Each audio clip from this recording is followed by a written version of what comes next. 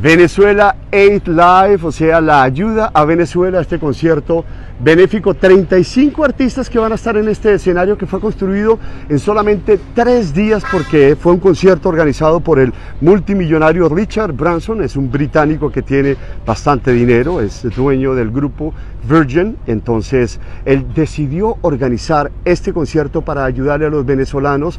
Lo que nos dicen es que a medida que lleguen los artistas hoy, ellos pueden comenzar a hacer sus pruebas en este escenario. Son pruebas de sonido y para qué?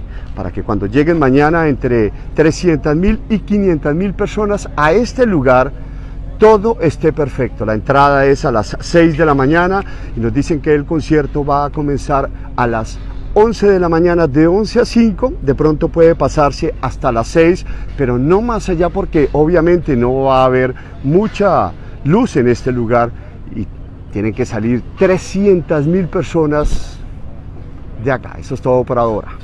Vuelvo con ustedes en el estudio.